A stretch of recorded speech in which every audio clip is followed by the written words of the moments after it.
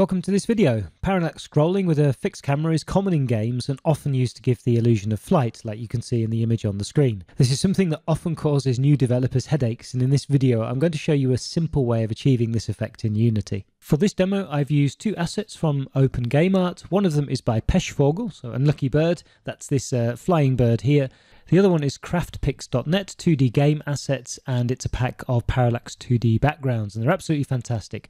Both of these assets are linked in the description. To start with, with a new Unity 2D project, I'm going to right click on Assets, create a new folder, call it Art, and drag into there the seven images. Now six of those are the parallax images and one of those will be a stationary background. Unity will automatically have converted the images into sprites for us, but we need to make a change to the six images we want to use for parallax. So I'm going to select all of those together, go into the inspector and change the mesh type to full rect, the wrap mode to repeat and click apply. And over in the game tab, I'll select the 16 by 9 aspect ratio. Next we need to set up some layers. In my case, I have six images as parallax layers, one image the sky as sort of a background layer, and I also want a game layer. So I'm going to go top right to layers, edit layers, open up sorting layers, and then add in all the layers that I need. So that'll then be the sky, the rocks, the clouds, the hills 2, hills 1, the trees, the game, and the ground layer.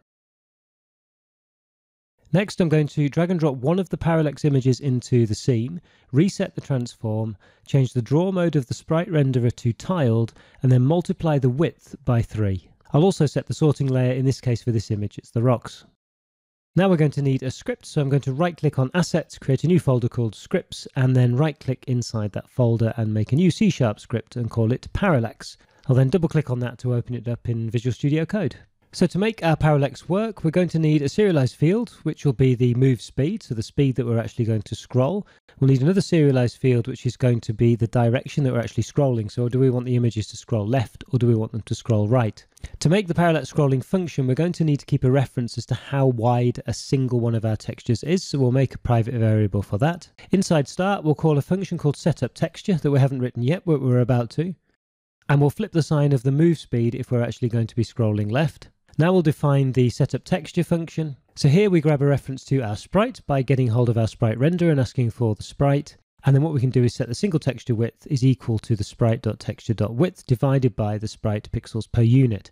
That will give us then this 19.2 that we multiplied by 3 when we dragged and dropped the sprite into the scene. Now we need to write the scrolling functionality. It's very, very simple. We'll make a new function called scroll, and inside here then we'll make a new float called delta, and that can just be the move speed multiplied by time.delta time, and then we'll shift the position of our transform by that delta in the x. Finally, a function called check reset, where we'll check if the position of our image has moved further than one of our texture widths, and if it has, then we'll reset the position of our image.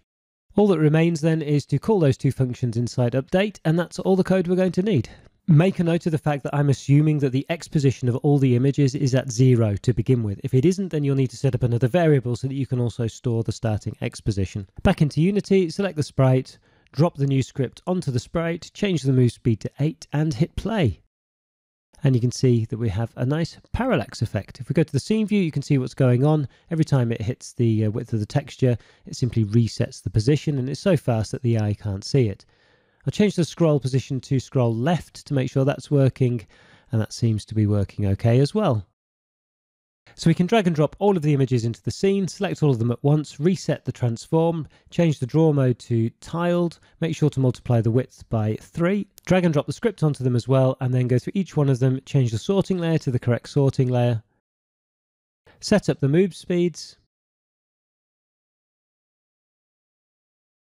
make sure the scroll directions are all the same, drag and drop our sky and reset the transform so it's in the middle and at the back of the image with the correct sorting layer. And we should be ready to play. Just before doing that, I'm going to fast forward through adding in a two frame animated sprite just so it's visually a little bit better.